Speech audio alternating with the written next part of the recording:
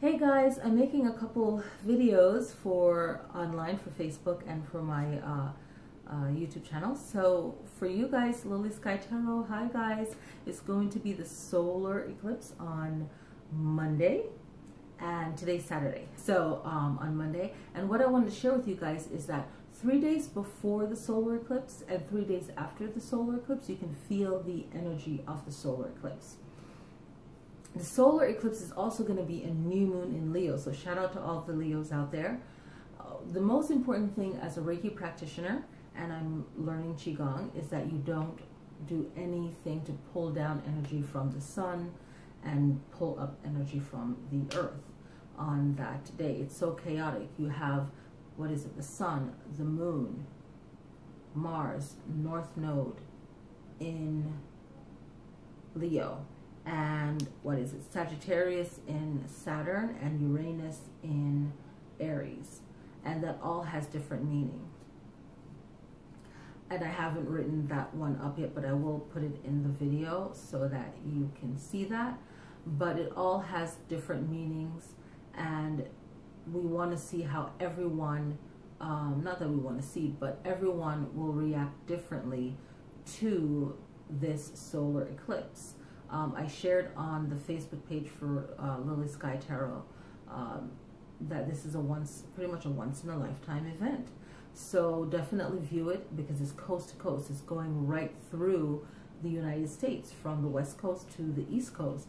And the last time in 1979, um, that was like through Oregon or Washington State all the way up into Canada. So it was like a little piece of, of the U.S. got it and before that was what like um, 1918 and then before that was 1776 for the US that was the first time for the US so this is like a very special occasion. Make sure you go out get your shopping done. You actually if you're gonna do your own card readings for yourself or um, watch all these special wonderful YouTubers uh, with their tarot readings definitely do that. Personally for me I feel like this is a time to go in stay grounded stay connected to your body um, and maybe on Sunday do a, a, a card reading for yourself. And then on Monday, observe the energy. I strongly feel that. Observe the energy.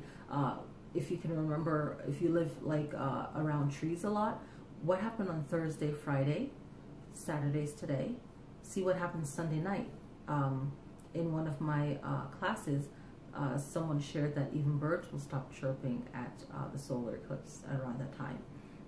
Of course, animals uh, act different when there's a tsunami coming or earthquake or volcano eruption. So the animals will actually get quiet. Will, they'll leave, of course. They're like, you know, getting the heck out of Dodge, right? so, so notice around you how people are acting. I mean, I noticed that in the full moon, how people personalities change, right?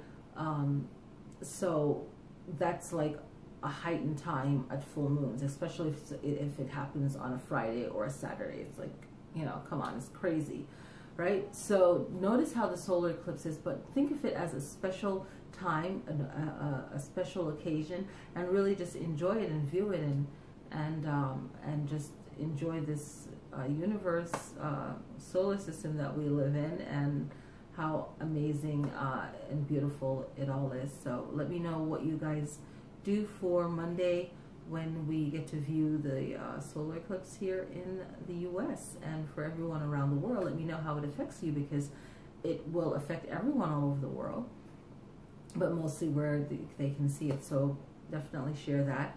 And I think a Sunday card reading, if you pull cards yourself, would be ideal. And uh, uh, if you or know of a Kundalini studio in your area uh, or any kind of um, yoga practice uh, uh, that does mantras. It's a good grounding mantra. Where I am for our Reiki uh, circle gathering, we're going to do a Kundalini um, mantra uh, grounding uh, meditation and should be fun. So let me know what you guys are up to.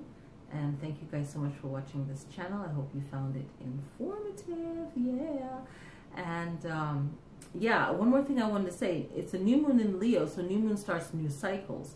So how does this apply to the um, solar eclipse, right? Um, this is a time to just get grounded And being grounded means that you are just uh, being comfortable within your body, right? Just you being within yourself, and that's that's very powerful because whatever you're going to start, um, you already have your intention and your goal already, but you're just not pulling in energy from above and below, right? You're not channeling.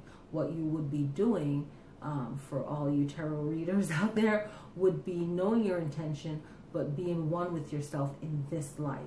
Okay, and I'm going to talk. I'm to um, talk about that uh, on Wednesday uh, at my Reiki circle. But you want to be within yourself in this carn in, uh, incarnation in this life and be grounded, right? And uh, three days before.